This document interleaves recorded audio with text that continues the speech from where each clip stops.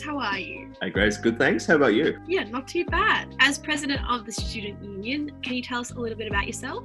Uh, so, this is my fourth year being involved in the Student Union. I started off as a volunteer and I've been a rep for the last three years. I've been involved in many communities here, such as the queer community, um, the volunteers program, and it's been a fantastic opportunity. And I really want to extend that same warm welcome to all students at Swinburne in 2021. Wow, that sounds really cool. So, tell us a little bit about what the union can do for students. So, the primary role of the student union is to represent all students to the university itself. Uh, in previous years, we've run some pretty big campaigns, including one to extend census date during the COVID lockdowns, give students a bit more of a chance to adapt online study. We also provide a range of services such as free food, printing, uh, cheap drinks, uh, social events, that sort of thing. We also run a robust group of collectives as well as a volunteers program. That sounds great. So, where can these students go to find some community and some friends and some guidance with their studies? The SSU is all about community. We run multiple collectives, some of the biggest being our queer collective and our women's collective.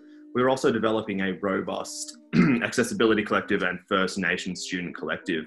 For all you international students out there, we have an international representative who's keen to meet you all in the upcoming international mixer and look out for him later in this video. On top of that, we run a large volunteers program. And finally, but not least, is the Hammer and Swine, our bar on campus with cheap drinks, cheap food, and great community spaces and events for all. So, James, if I was a Swinburne student, as I actually am, how can I get in touch with the union? The student union's largely been online for the last 12 months, and we've developed our communication channels there to make sure that everyone can contact us. Make sure you check us out on Facebook or feel free to email us at ssu at ssu.org.au. We're looking to be back on campus in the coming months, and we're looking forward to seeing all of you there soon. All right. Well, thank you so much for joining us, James, and thank you for your lovely insight. No worries. Thanks very much, Grace. And to all you students, looking forward to seeing you in 2021. Ailish, nice to see you. Nice to see you too, Grace, even if it's through a computer screen. Okay, Ailish, can you tell me a bit about yourself and your role? I'm the General Secretary at the Swinburne Student Union, which means my primary roles are to oversee all of our reps and council members to make sure that everyone's achieving all their goals in their areas and also to keep an eye on the financial situation. So I have to be aware and on top of all our financial reporting and our spending. Cool. So, how do I become a member of a Swinburne Student Union?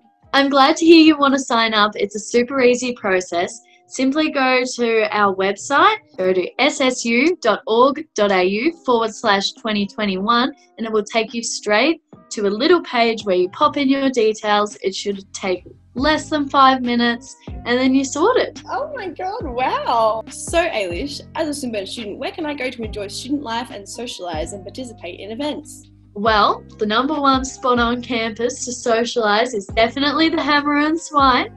Really? It's a bar with food and drinks located on the third floor of the UN building.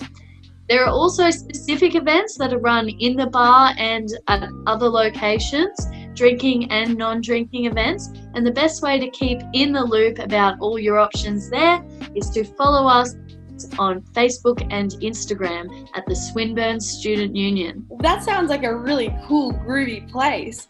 What if I am at home and I have no way of accessing it? The lovely Grace here, who's very subtly plugging herself, has put together a Discord. So anyone can be a part of that. And the details for how to join are where are the details for how to join? Uh, right on the screen right now. Wow, right on the screen right now. Wow, Ailish, that sounds like so much fun. Thanks for illuminating me on all those hot tips about the union. You're welcome, Grace. Maybe you should join. Oh, maybe I will. Hi, Jess. How are you? I'm well, thanks. How are you, Grace?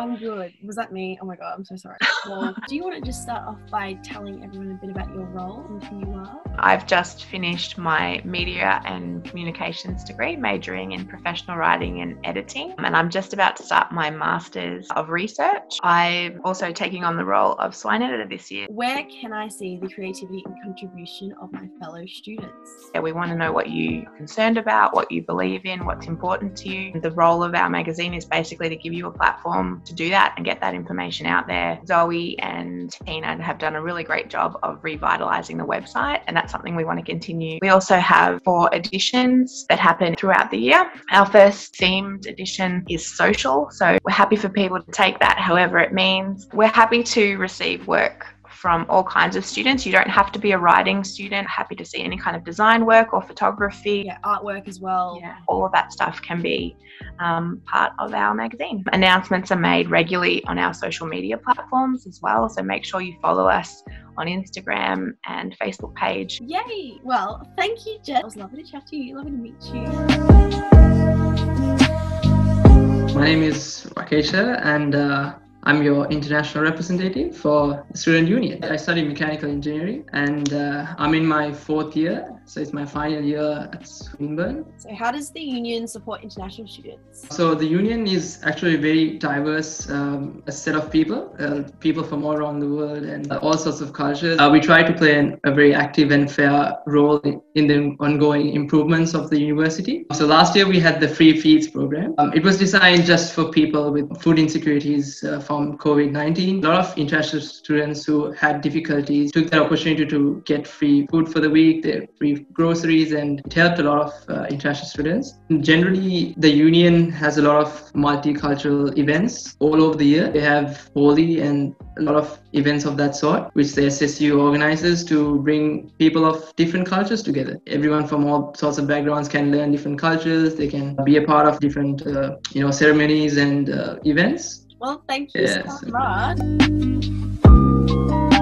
Hey Nikitha, how are you? Hey Grace, I'm doing good. I'm the 2021 Women's Representative of the Swinburne Student Union, and I'm studying Bachelor of Health Science and Bachelor of Science. So, can you tell us a little bit about what the Women's Collective is? Basically, the Student Union's uh, Women's Collective is an organization that aims to represent advocate and empower women and female identifying students of Swinburne. Uh, we basically run a lot of events, workshops, and also host social activities for the students.